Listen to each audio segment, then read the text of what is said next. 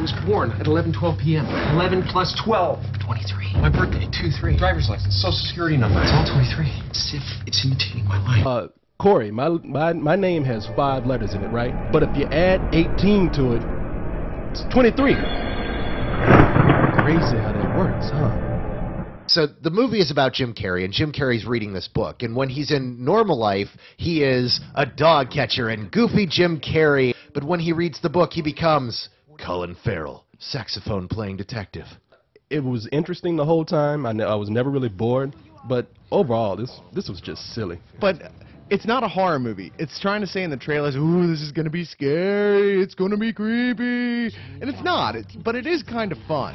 I really, really, really like this movie until he gets to chapter 23, which is the big twist in the movie. And the movie realizes that it's not a weird, creepy movie and goes, oh, yeah, this is a Hollywood thriller, and it's going to take 20 minutes to explain why this is the end of this movie. It took 23 minutes to explain what was going on. Ooh. Yeah, yeah, I know. Maybe there is something to this. It's- I mean, the way they were going on about the number 23, I thought like Jim Carrey was going to actually have to fight the number 23 itself at the end of the movie. I think a lot of people are going to be asking how is Carrey in this, and he does do a good job.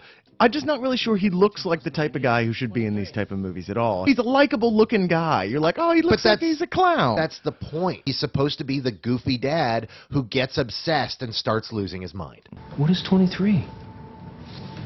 Is it God? 2 divided by 3? Point 666. 666, number the devil. There are only 22 chapters in the book of Revelations. We all know how that ends. You know, I'm just now finding out that this is directed by Joel Schumacher. The guy who gave us nipples on the bat suit, for Christ's sake. oh, wait a minute. How many bat suits had nipples on them?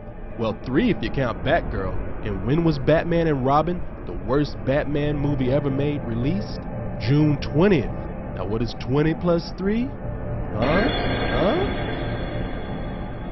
You know what, man? Screw y'all. Shut up. cinema, matinee. I ain't got 750 to pay. For cinema, matinee.